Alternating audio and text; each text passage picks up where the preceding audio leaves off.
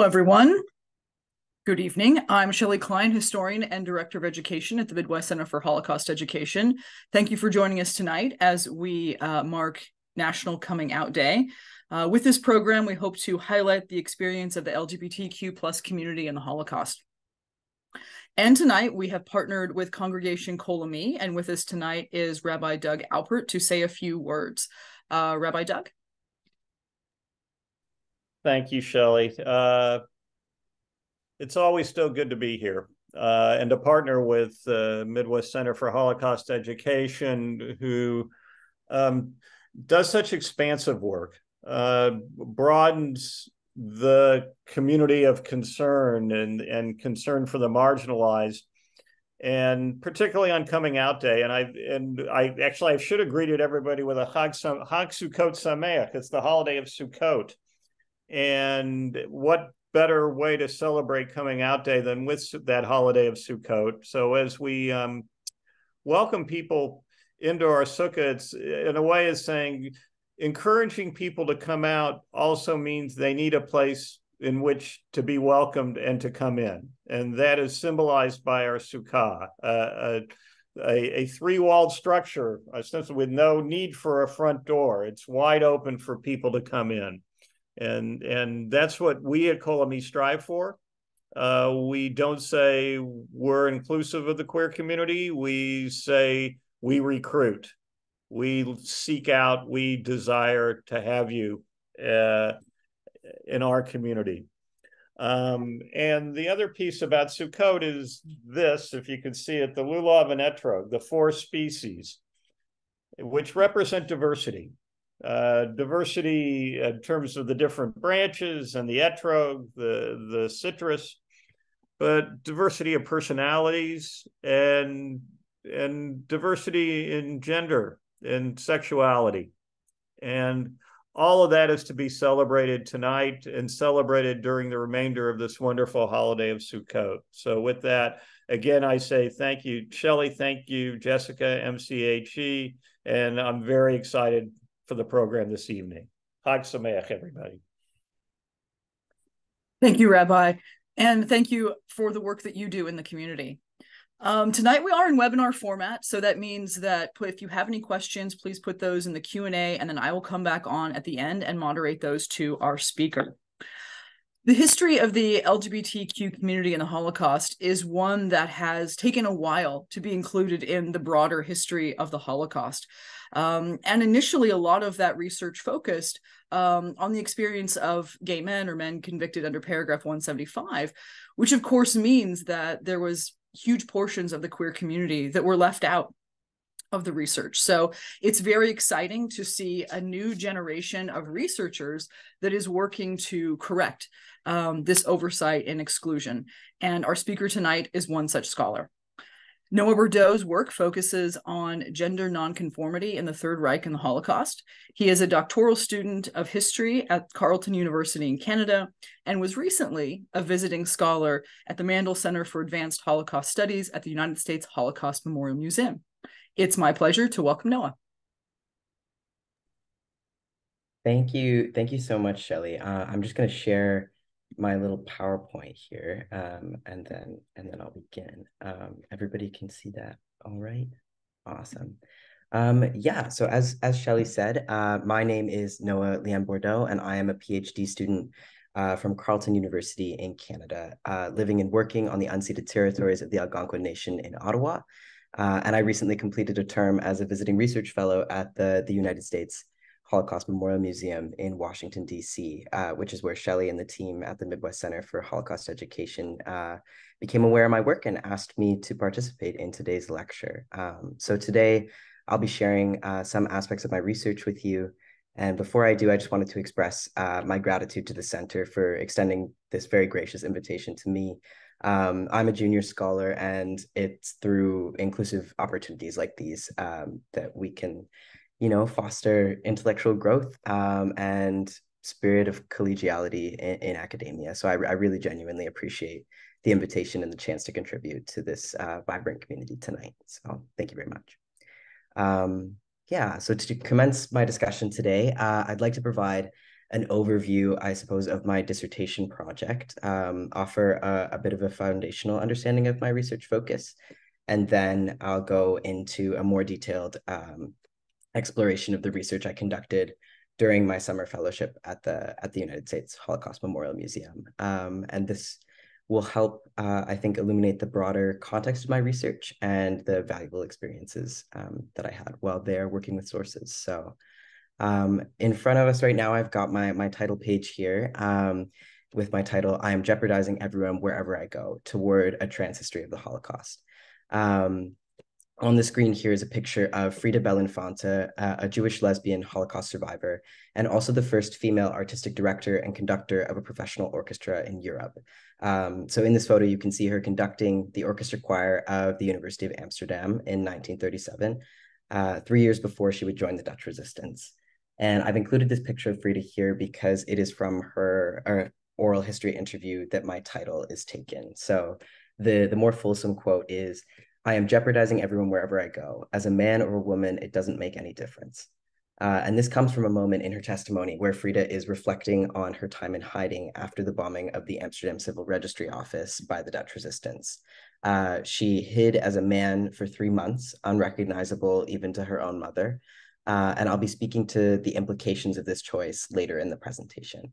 Uh, for now, I will tell you a little bit about my research, um, sort of the, the theory that I use to approach it, and then we'll get into, into the case studies. So um, my dissertation project uh, bridges the fields of Holocaust studies and transgender studies to, to foreground the role of gender mutability across identities uh, during the Third Reich and the Shoah.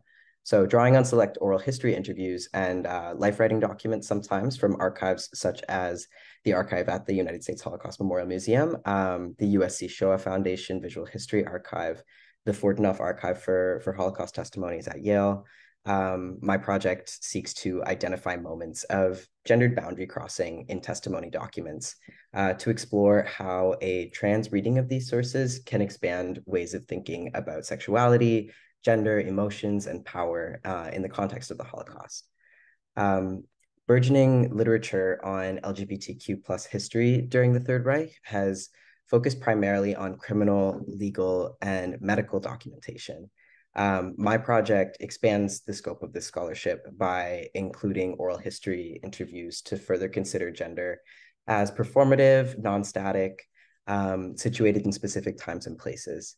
So this research hopefully, sorry, will enhance understandings of how gender variance has appeared as uh, Dr. Laurie Marhoefer suggests in situations characterized by emotion, choice, and risk. Um, yeah, so contributing to scholarship on the conditions of gender non-normativity in Germany under National Socialism and during the Holocaust um, from the years 1934 to 1945, my project uh, builds on existing approaches to gender and the Holocaust, which has become an important site of scholarship since its conception in the 1980s-ish. Um, and while there's been an increase in attention paid to Holocaust histories of gender and sexuality, uh, Dr. Zoe Waxman has emphasized how frameworks used to approach studies of gender and the Holocaust frequently prioritize palatable narratives uh, that reinforce binary conceptualizations of gender. That is, um, the cases that we choose to study often lean towards simpler stories that fit into traditional categories of male and female. Um, this can hide the experiences of people whose gender expression didn't fit those categories uh, and can even make non-traditional experiences seem less important. Um, so in failing to either look for or articulate gender nonconformity, uh, stories that contest normative notions of gender have frequently been disappeared by survivors and researchers alike, unintentionally or, you know. Um, so speaking about the minimization of complex experiences of gender in the Holocaust, um, scholar Joan Ringelheim um, states that without a particular or a place for a particular memory, without a conceptual framework, a possibly significant piece of information will not be pursued. Um, in other words, if we don't create a space to discuss and understand these unique gender experiences during the Holocaust, and if we don't have a framework to think about them, uh, we might miss out on important information that could help us more fully understand these histories, our histories. Um, as Dr. Zavier Nunn has observed, while scholars have begun to study gender variance in historical cases of transvestitism, which is the word that they used at the time, um, the lack of an appropriate framework has meant that thus far, evaluations of trans experiences have been limited to identity-based histories of queer state persecution. Um, as a result, instances of gender nonconformity that can't be analyzed through an identity framework have not been included in the scholarship on gender variance. So historians such as uh, last year's lecturer here, uh, Dr. Anna Hájková, and other scholars such as Dr. Jennifer Evans and Dr. Elissa Mailänder have remarked on the limitations of identity categories when analyzing non-normative performances of gender in Holocaust history. Uh, they note that identity-based analysis is frequently reductive uh, and disregards non-static situational experiences of gender, participating in a historical revisionism that leaves out complicated details in favor of more categorizable identities and stories. Uh, identity-based approaches also fail to address situational variances of um, men and women who otherwise perform gender normatively, uh, or the experiences of those who disidentify with queer and trans identity categories. So maybe people who don't claim queer identities.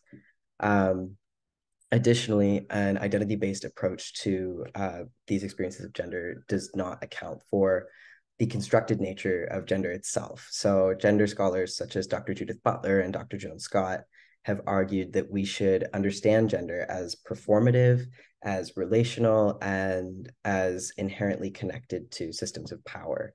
Um, nonetheless, uh, identity approaches frequently reinforce binary understandings of gender and make invisible how, how power functions in relation to gender.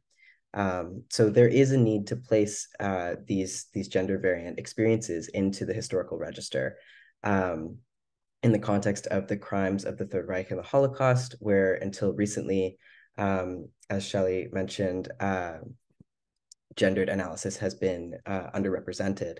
It is especially crucial to adopt approaches that make visible the complexities of gender to better understand the cultural context that give it meaning um, and yeah, this project contributes to to disrupting what has become an ahistorical narrative, uh, where some non-normative performances of gender are overlooked while others are ostracized.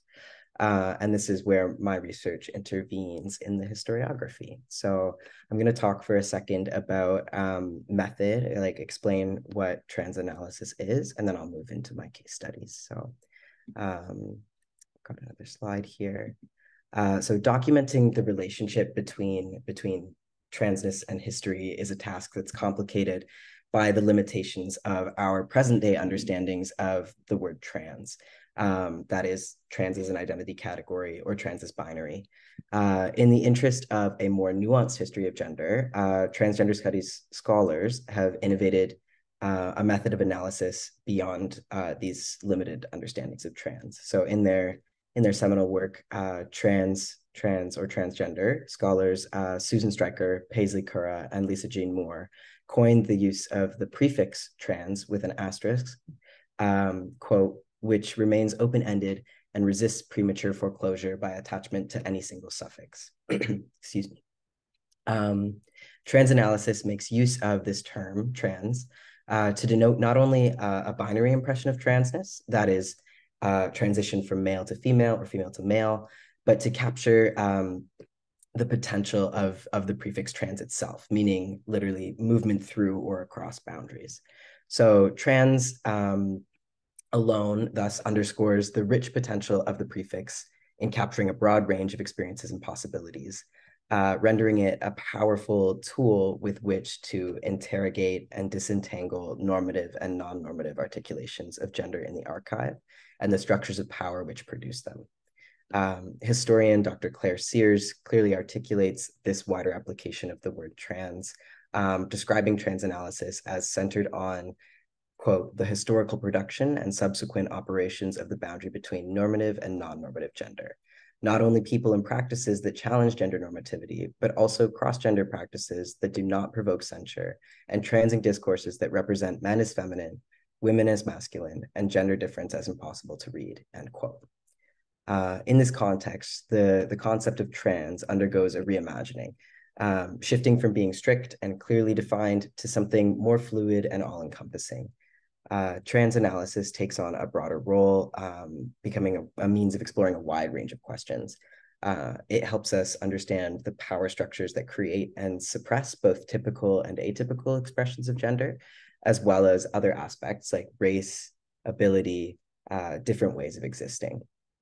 What makes trans analysis particularly valuable in the study of Holocaust and genocide studies is its ability to shed light on the potent normalizing forces at play, um, especially in relation to race and nationalism. This, this framework allows us to critically examine how differences are constructed and how categories are established in the first place, as explained by um, historian Dr. Howard Chiang, who I've cited here. Um, in essence, uh, trans analysis serves as a theoretical model that promises to provide a deeper understanding of the diverse experiences that encompass all lives, with a particular emphasis from this research, anyways, on lives affected by the Holocaust. Um, it enables us to explore the complexities and nuances of these experiences, offering a more textured perspective on the history and events at that time. Um, it's critical to note here that trans analysis isn't solely about exploring liberating expressions of gender or positive expressions of gender, uh, in the context of the Holocaust, it can also reveal how gender boundaries were crossed or challenged in ways that ultimately reinforced traditional systems of power, particularly those rooted in heteropatriarchy. Um, for example, scholars like uh, Dr. Jennifer Evans and Dr. Elissa Mailänder have examined photographs depicting German soldiers cross-dressing while on the front lines. Um, these images, despite their outward appearance of nonconformity, were actually intended to humorously uphold and reinforce traditional gender roles. Their purpose was to reaffirm a, um, a heterosexual masculine identity and to boost the morale of these men who were involved in carrying out acts of genocide.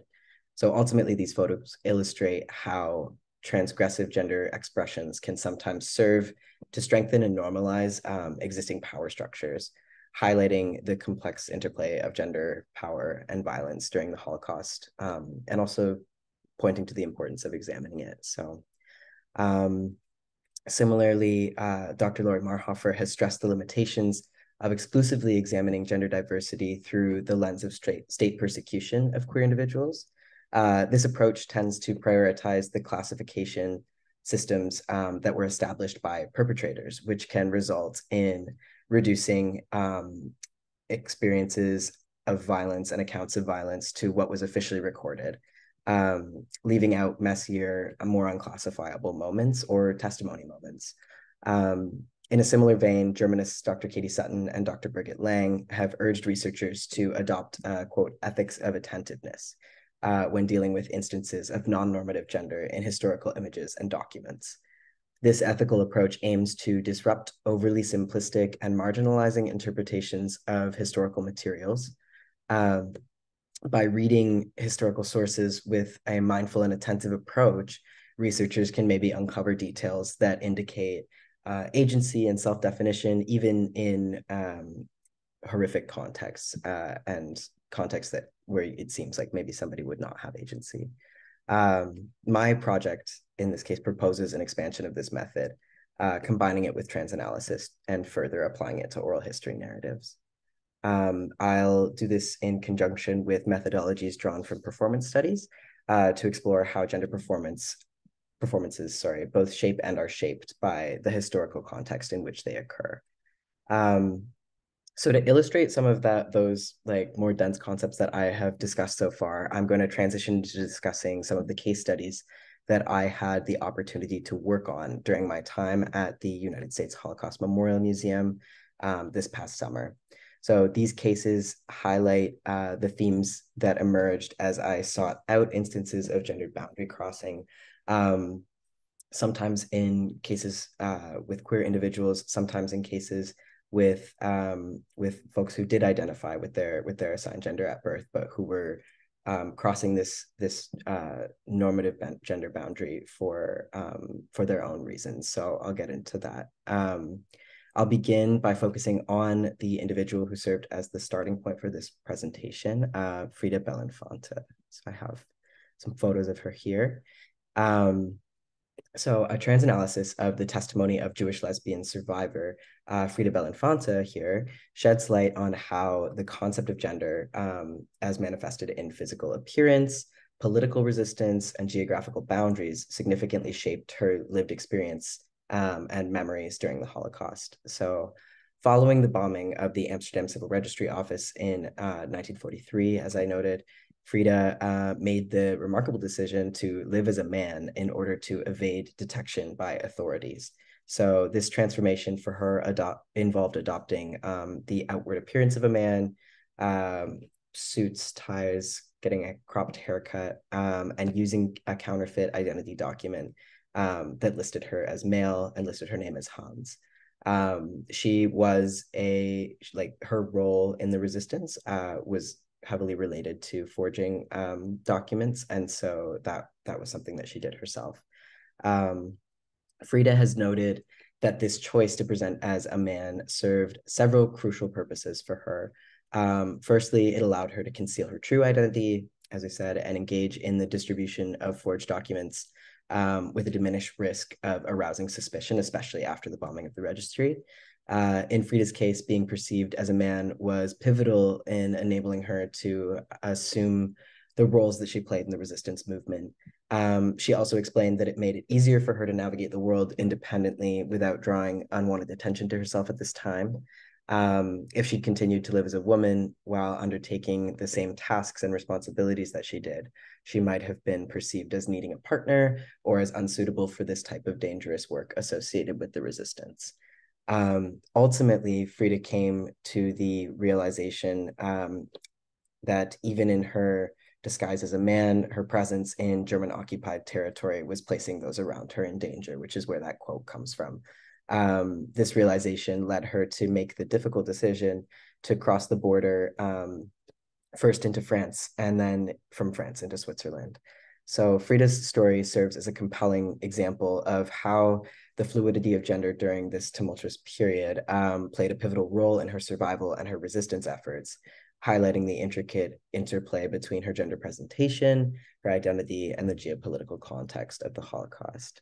Um, it's significant that living as a man, which saved Frida's life in Amsterdam when she was hiding, could also have jeopardized her life when she crossed the border between um, France and Switzerland with her travel companion, uh, a Jewish man named Tony Van Praagh later that same year. Frida navigated the border as a woman. She chose to reveal her true identity and her true name so that she could call upon her former teacher, uh, the German conductor Hermann Scherchen, uh, while Tony was deposited on the French side of the border and was later killed in Auschwitz. Uh, the Swiss policy at the time was not to accept unmarried men. Uh, so Frida, as a woman, was able to cross through the border, but Tony was not. Um, she describes how the Swiss asked her about Tony, saying, quote, they asked me, were we a couple? Were we engaged to each other or were we married? And I said, no, he's just a friend. The Swiss did not keep men anymore, only women. And I could have saved his life just by lying and saying we were a couple, but I didn't know, end quote. Uh, this situation reveals a complex sort of hierarchy of value that's placed on different relationships and individuals by the Swiss border authorities at this time.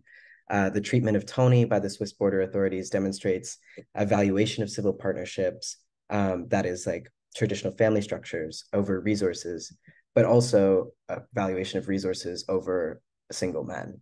Um, so a trans analysis of Frida's oral history interview brings to the forefront a series of um, pressing questions closely related to the intersection of gender and the Holocaust.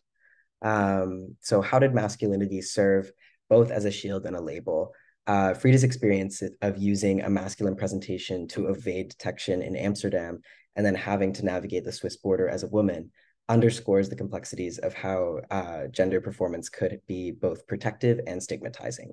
It prompts us to consider the dual role that gender played in individuals' experiences during the Holocaust. Um, in what ways were traditional family structures reinforced through border politics or policies, sorry, uh, Frida's account highlights how Swiss border policies favored married or partnered individuals um, over unaccompanied men and unaccompanied women over unaccompanied men. So this raises questions about how border policies might have been perpetuating um, conventional family norms, uh, even in the dire circumstances, um, like at this time with with rations and everything. Um, how did emotions such as fear influence gender expression? So Frida's decision to live as a man in Amsterdam, driven by fear of detection, demonstrates how emotional factors could shape one's gender presentation and survival strategies. Uh, this prompts us to explore sort of the intricate relationship between emotional states and gender identity during times of crisis. Um, however, Frida is also quoted as explicitly taking pleasure in dressing like a man, um, even though she was hiding, which of course was terrifying. Uh, she got these professional photos, which I was showing before, um, taken of herself so that she could remember uh, what it was like to dress as a man. And she is not alone in that experience. I'll reference another case um, later on. So, yeah. So, additionally, um, I guess a trans analysis of Frida's case specifically also encourages us, sorry, encourages us to delve into the role of economic status in Frida's narrative. So, unlike Tony, Frida had someone who could vouch for her Dutch citizenship um, when she made it across or when she was being held at the border. Um, her former music teacher uh, her musical talents, which were supported financially by her family from a young age, um, provided her with valuable connections that ultimately saved her life. Um, this highlights how economic resources and social connections intersect with gender and identity, influencing an individual's ability to navigate the challenges uh, presented in, in these circumstances. So um, I'm moving now to another testimony, uh, that of Mariana Berman. Uh, so a, tr a trans analysis of her her um, oral history interview provides us a striking insight into the multifaceted nature of her liberation experience uh, while in hiding in Budapest. So I unfortunately don't have any um, pictures of Mariana Berman.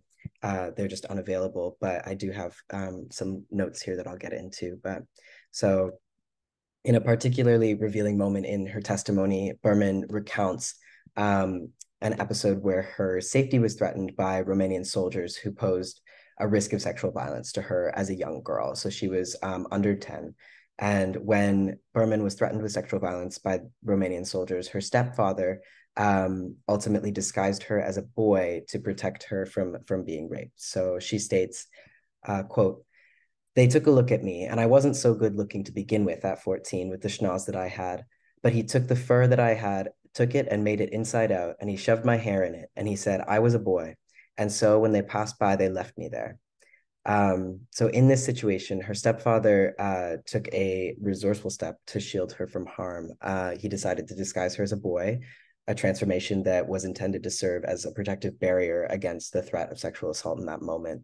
Uh, and in this case, it did. Uh, so the decision highlights the fluidity of gender during moments of extreme danger, um, a trans analysis of, of Berman's testimony allows us to reflect on this gendered boundary crossing, asking what does the hiding of certain features tell us about how uh, physical characteristics were perceived as gendered? What does this excerpt tell us about how the sexual accessibility of young girls versus young boys was perceived by soldiers in these spaces? How does the transgression of normative gender performance in this instance offer Berman safety and enable Berman's stepfather to exercise agency um, in a situation where there is not a lot of agency typically? So it's interesting. Um, yes, so Mariana Berman's testimony prompts a critical examination of the gendered boundary crossing that took place in her experience, um, leading us to several sort of thought-provoking um, topics like gender as a survival strategy. Um, her stepfather's decision to present her as a boy was a strategic choice uh, made out of necessity for her protection. Uh, the act of disguising Mariana as a boy underscores how gender identity could be used as a shield in situations of extreme vulnerability. It prompts us to explore the ways in which gender individ sorry, which individuals harness gender presentation um, strategically and raises questions about how gender roles were adopted and manipulated as a means of survival during the Holocaust, particularly in the face of sexual violence, which is something that I'll, I'll touch on. Um, also the fluidity of gender. So this account illustrates how, how gender could be fluid and adaptable in response to immediate threats. It highlights the importance of recognizing the fluid nature of gender identity during moments of crisis, challenging traditional binary conceptions. Um, the perception of physical characteristics as gendered. So the act of, of disguising Mariana as a boy raises questions about how physical characteristics were perceived as inherently gendered during that time. Um, she mentions her nose.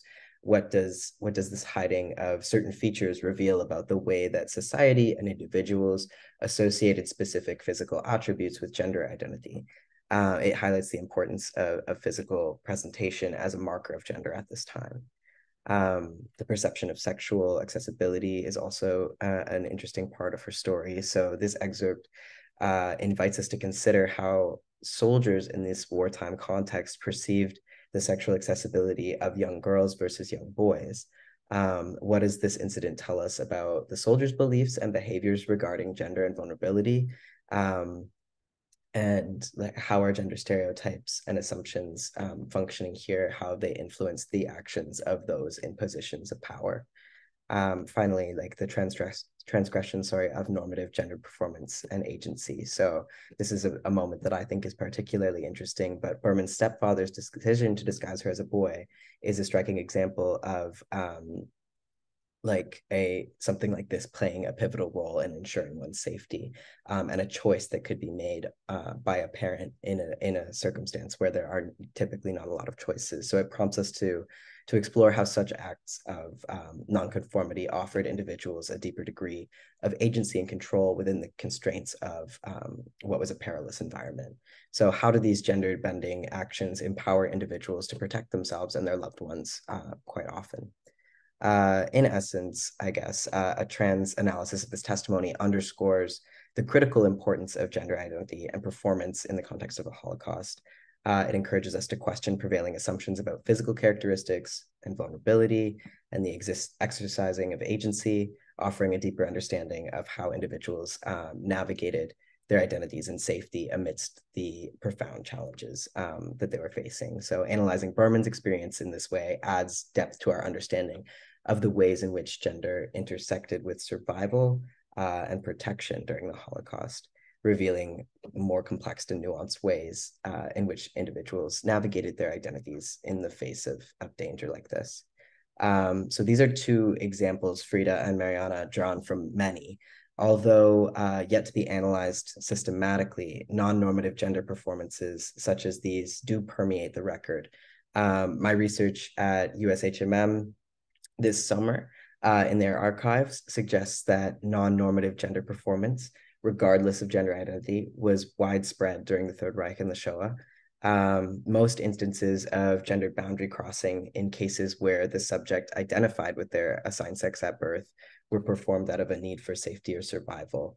Um, though these performances frequently yielded other emotional results, such as joy, playfulness, um, a sense of autonomy, even uh, in many cases, changing one's gender presentation represented the choice that could be made um, to empower oneself or others towards safety. Um, sometimes the opposite, though, which is important to, to acknowledge. Um, several trends emerge from the records alongside moments of gender boundary crossing, um, particularly uh, an intersection with children's histories, histories of sexual violence, and histories of passing. So passing as um, a Jew passing as a Gentile or a man passing as a woman, etc.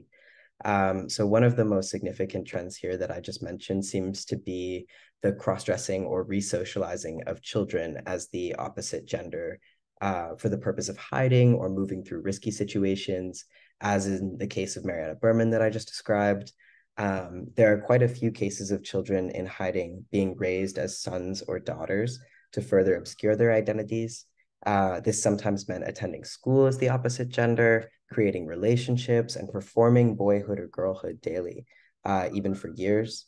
Uh, David Tenenbaum, uh, pictured uh, here, sorry, um, is a very interesting example of this. Uh, he's a key example. Yeah, David was 11, um, and I think in this picture he's a little bit older than 11. Um, but he, when he and his mother went into hiding, he was 11. Um, they went into hiding with friends in a small Polish town, and they were provided false uh, birth and baptismal documents. Um, and David began to go by Teresa, uh, pretending to be a young Christian girl and also pretending to be physically disabled so that he wouldn't be sent to school. Um, David's testimony raises interesting questions about gender, age, um, and importantly, disability in Poland at this time, uh, and also disrupts some assumptions that we might have about the emotions felt during this experience. Um, as David, I have been lucky enough to access his oral history, and he remembers um, these these years as Teresa fondly, um, and kept this picture as a keepsake uh, of his time in hiding, much like Frida, as I mentioned earlier. So, one of the most um, striking and poignant trends um, that emerged uh, was was this cross dressing uh, of children. I think. Um, sorry, let me just see here. Yeah, so you can see him here with his with his um, his braids as I've as I've described there. Um, sorry, one sec. Let me just find my place in my notes. Um, Carolina Tates is the is the next example that I was going to say, and Carolina, unfortunately, also don't have images of. But at 13 years old, she was um, she was forced to live in a ghetto with in Riga, Latvia, with her mother and siblings. Um, after witnessing and narrowly escaping multiple killings, uh, she resolved to leave the ghetto, fearing that the same thing would happen to her. Um, she she states, "quote I have seen what is going to happen to me. I don't want that. I'm going to run away. I was a girl, not very big. I have to be dressed like a boy, like a man. Why? Because only a group of men can go out to work. Only man they take. Women, they did not work. End quote. So Carolina's uh, account underscores how gender played a crucial role in determining uh, the possibilities for escape. So in her case, she realized that as a girl, her chances of leaving the ghetto were severely limited due to the prevailing gender roles and expectations. Uh, men were the ones taken for work groups, and women were not. Therefore, attempt, adopting a male identity through, through clothing and presentation became a strategic choice for her uh, to access the opportunities afforded to men in this circumstance. So, after making this plan, Carolina uh, dressed as a boy and escaped with um, a men's work group soon after. Once outside the ghetto, Carolina's experience uh, further reveals the compassion and solidarity that could emerge among men and boys in in these moments of vulnerability. So older men in her work group um, took pity on on her, the small boy that was in their midst at the time, and provided her with guidance, um, reminders, and care uh, as they as they took her outside of the ghetto. So they told her when and where to run. Um, they reminded her to take off uh, her and David. And because of this camaraderie, Carolina found safety outside of the ghetto um, in a home and hid there for the remainder of the war. So this exemplifies um, the, the way in which individuals, regardless of their own perilous circumstances, uh, could extend support to those in need um, transcending traditional gender norms in this circumstance. Um, what does you know Carolina's testimony tell us about what types of escape were possible for men and women, for for boys and girls? Uh, what does it tell us about how men and boys cared for each other in in vulnerable moments? Um, these instances intersect with with another trend, which is um, gendered boundary crossing occurring in situations characterized by sexual violence. Um, so often this means young girls being disguised as boys. Um, again, cases involving children, um, as in the case of Mariana Berman, uh, or also adult women dressing as men to avoid sexual violence. So one such case is uh, Eugenia Rothschild, uh, a survivor who would often disguise herself as a man to avoid unwanted attention by Russian soldiers. Um, these cases raise more complex questions about how sexual safety is configured in terms of gender and who is perceived to be at risk in these moments.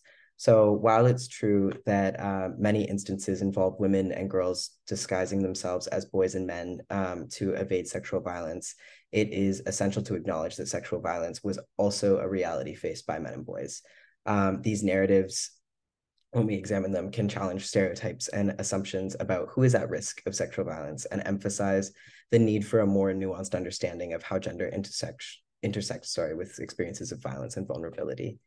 Um, many cases I've encountered are also closely linked to the idea of passing. Um, quote, this means that people were trying to be seen as something that they were not, uh, not just in terms of gender, so acting like a man or a woman, but also in terms of their religious identity, um, pretending to be Jewish or non Jewish.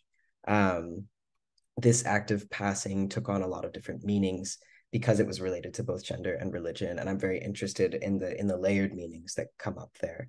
Uh, for example, some Jewish men dressed as women uh, to hide the fact that they were Jewish, um, which would be evidenced by by their circumcisions.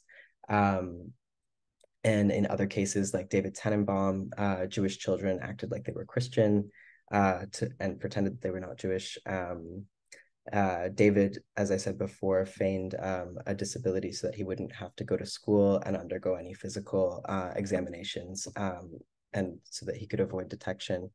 Uh, my my project aims to understand, I suppose, what these situations can teach us about how people shaped their identities and how they managed to pretend to be something else, uh, whether it was a different gender or a different religion. Um, disabled or able-bodied uh, during the Third Reich and, and the Holocaust. So um, the current trend toward identity-based analysis of state persecution, which I described earlier, does not actually account for any of the histories referenced here. Um, none of these these folks that I've described necessarily identified um, as anything other than the gender that they were they were born as, and yet they all had these these rich and gender varying experiences um, performing gender strategically, uh, moving through the world uh, in in different dress and in different ways in order to be perceived um, a specific way. So it's my my goal with this work, I suppose, to develop um, the analytical framework that I described, uh, so that it might be broadly applicable um, to meet the limitations of current approaches and to include these histories that would otherwise be unacknowledged, which I still think are, are quite interesting and can tell us quite a lot about um, a lot of intersecting um, structures uh, in these cases. So uh, these sources reveal moments of gender performance that do not align with the subject's uh, assigned sex at birth. And through a close analysis of these survivor testimonies, we can observe ways in which gender was performed strategically, how these performances are remembered by survivors, which is also um, very interesting, and what these instances can tell us about gender in the context of the Shoah. Um, Dr. Jennifer Evans and Dr. Elissa Mailänder maintain that reading historical instances of gender variance, quote, as an example of the violence of the past now overcome, belies that displacement and disposition continue to mark hetero, homo, mis, and transgendered people in today's world. That is presuming that um, like violence um, is entirely in the past is not now um, doesn't account for what is happening in our current in our current day. So while this work is historical in nature i'm undertaking it at a time when trans issues are being actively debated by governments and policymakers internationally um, even in Germany this summer, anti trans activists went as far as to question the validity of trans persecution during the Third Reich, um, and queer persecution. So my research aims to surface um, vital and important examples from the historical register to meet the challenges of transphobia and anti-trans rhetoric and provide a scholarly tool to those working on behalf of trans communities to ensure that trans existence remains a cultural possibility. Um, the outcomes of this research will include uh, claiming histories of gender variants that have been marginalized, uh, as I've described, and placing them in the historical register. Uh, I'm confident that it'll bring to light encounters with gender that have been largely overlooked, especially in oral history interviews to date. Um, yeah, there's a need in this history for a methodological approach um, that can account for complex power relationships and more expansive definitions of gender, not just man and woman. Um, and my project hopefully will address this need. So developing a theoretical model for trans analysis um, of complex historical pasts um, will hopefully reveal the gradation of gendered experiences that are integral to Holocaust history. So um, my work is, is a part of a rich web of scholarship around trans life during the Third Reich and the Shoah. Um, this research isn't possible without a lot of my, my colleagues who I've listed here on the screen, um, like Dr. Laurie Marhoefer, Dr. Jennifer Evans, Dr. Zavier Nunn, Dr. Bodhi Ashton, Dr. Anna Hájková, Dr. Jake Newsom, and Dr. Katie Sutton. Um, and I, am sure there are others that I could absolutely thank. Um, and I'm very grateful uh, for for the support of this uh, academic community and the commitment to to these kinds of histories. So I encourage uh, anyone who has been interested in this topic, or you know, if you would like to be more interested, if you didn't find this super interesting, please check out their work. Um, yeah, I, I thank you all for listening today. I know some of that was a little bit heavy, but I, I really appreciate, um, again, the invitation to participate uh, in this event. And um, thank you very much. Thank you, Noë, for that. Some really, really interesting research, especially, um, you know, I've, it's a really interesting lens to look at the performance of gender um, through these case studies. I wonder if you could talk a little bit about how you did your research and some of the challenges um, to researching the the subject and even maybe the particular people that you picked. Absolutely. Um, I think uh, immediately the archive is vast and not all of these um, these testimonies are categorized as anything or tagged as anything. So a lot of the times testimonies will have keywords attached to them. Um, in an archive, you can like search like uh, you know, Poland, and then people who lived in Poland will come up. But you can't really uh, search like the experiences like this as clearly, I guess. So it was it was a game of figuring out how to what what search terms are going to like um, turn up results that are relevant to what I'm what I'm looking for. So um, something that came up a lot actually was was dress. So looking up um, a lot clothing articles that uh, people were wearing uh, in photos or people describing their outfits um, would turn up testimonies that maybe had relevance. Uh, once I I found a few things um, such as uh, I guess, Mariana's testimony um, relating to sexual violence and also um, being a child. Uh, it was it was interesting to see how trends started to appear, and there were instances where this happened more frequently than in other cases. So I think um, one of the the big challenges is definitely the fact that there's not really a, a structure in the archive to find um, to find testimonies like this, and also this is the case with a lot of testimonies relating to uh, sex and gender in general. Um, I know that that was the case for for colleagues of mine who were researching sexual violence, for colleagues of mine who are researching um, queer histories of of gay men or lesbians. It's it's very similar. So. Mm-hmm. Did you find, uh, in terms of when you were reading the sources, was there a particular way that you had to read them, maybe like against the grain, or did you find, um, yeah, just did you come across different methods that you had to use to actually get at the the sources? Yeah. Um, hmm. I think uh, hmm. this is yeah, I guess like I found I was surprised by how um right there a lot of the the things were once I found them. Like um a lot of the times uh I suppose in in testimonies that deal with sexual violence, it's uh, a little more um you're reading between the lines with what people are saying some of the time. But I, I think I also was surprised by by how clear a lot of this was laid out. But it's a beat in in what is a much larger testimony and it's a beat that not a lot of people really care about and so to to go back through and find this like one moment where they said this thing quite clearly and then they move right along um was was tricky sometimes but always rewarding so Mm-hmm. Yeah. How did you pick? I mean, I are these the main? I assume these are the main case studies that you you picked. Were there others that you had uh, maybe considered? And could you tell us just a little bit, bit about the process of selecting these as the ones to focus on? Yeah. Um. So these the ones that I focused on today, I guess I felt were um were examples of some of the trends that I wanted to discuss. Um Frida's is a very well-known case um, in like queer Holocaust history uh, because she was um, a, a, lesbian resistance fighter, which is it's an incredible story. Um, but this this discussion of her um, hiding as a man is is not into that a little bit more. Um, I for some of the other testimonies, uh, as I said, I wanted them to to align with some of the topics I'd I'd bring up.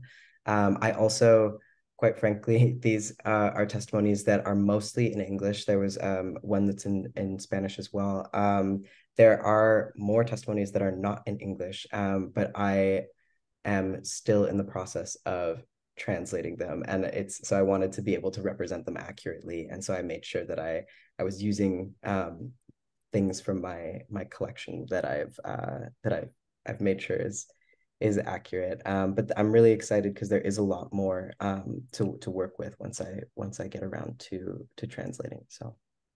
Excellent. Yeah, I'm I'm looking forward to. Um, hopefully, we'll get to to read the finished product uh, when when you're finished because that would be interesting to see how it how it turns out. Okay. Someone has uh, asked a question about continued discrimination in post-war Germany. So uh, I'm assuming this means perhaps maybe not these individuals, but maybe people who um, different sort of trans-presenting um, yeah. individuals. Um, I am going to yeah, I'll speak to this. So continued discrimination in post-war Germany. Um, I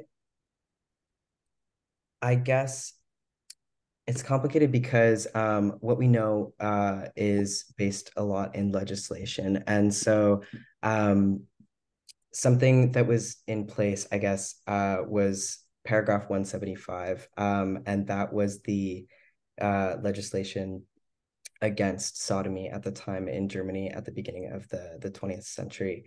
Um, and when the Nazis came to power in 1935, they changed that uh, legislation to rather than be for sodomy, be for a look or a touch, quote.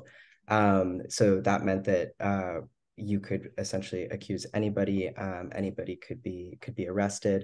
Um, and the numbers of, of people that were arrested under paragraph 175 are very, very skewed um, and are inaccurate and are very, very low compared to what we estimate that they were, especially with people being um, imprisoned.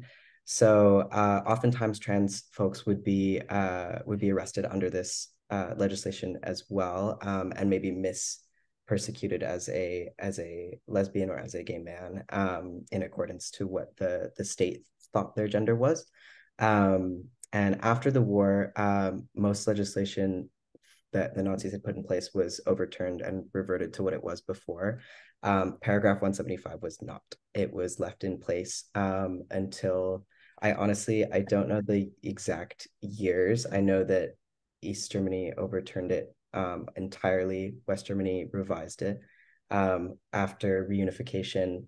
Um, the West German version was on the books until 1996. And so that meant that anybody who was persecuted under paragraph 175 could not speak to their experience or else they could be reincarcerated, um, which is extreme. And so uh, persecution did continue in these in these legislative ways, in these social ways um, after after the war. Um, something else is that uh, upon liberation um, after the war, uh, anybody who was who was arrested or was serving out a sentence under paragraph 175 was made to uh, serve the remainder of their sentence. Um, and so they were released and then re-imprisoned um, since that legislation remained on the books. So, so yeah, it, it continued in, in multifaceted ways um, and ways that disrupted the ability to to get testimony from from queer and trans survivors. So, mm-hmm.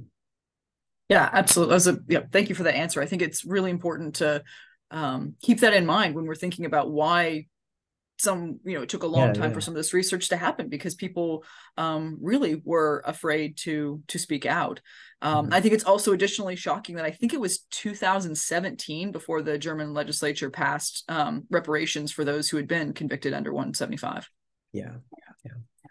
so yeah one of the, a good reminder of um, how a lot of these issues are still really current with us today, in addition to the modern, like the modern iteration of them, um, but even dealing with the um, the Holocaust history in our in our present. Yeah. Um, do you have any? Um, I know you put up some some you know names to look at for further reading. Do you have any titles of you know books that people might be interested in um, if they want maybe even just like general overviews or any just sort of further reading to maybe start someone on on a path down this history? Yeah absolutely. Um so hmm, okay. So pink triangle legacies um, is a book that was recently released by dr jake newsom um, who was one of my my mentors at the museum this summer um, and a, a longtime colleague, and it is it details this this history um, from the the war to honestly present day of um, the symbol of the pink triangle and um, a history of of queer folks during the Holocaust. Um, Dr. Laurie Marhoefer also has a book called Racism and the Making of Gay Rights um, that talks about Magnus Hirschfeld, Dr. Magnus Hirschfeld, who was a um, sexologist in in Berlin uh, at the turn of the century and is he coined the term um, transvestite. He's responsible for a lot of um, uh, modern queerness as we know it, uh, and it's his his story and uh, the story of his assistant as well, um, and the ways that that race and identity intersect with with the research that he was doing. Um, it's very beautifully written. Both of them are honestly, uh, and I think I think they're quite accessible and very very interesting. So yeah. Excellent. Well, thank you again for this wonderful presentation. Uh, like I said, I look forward to, to seeing more of your work in the future. Um, thank you all for being with us tonight and um, remembering this important history. Have thank a good night, everyone.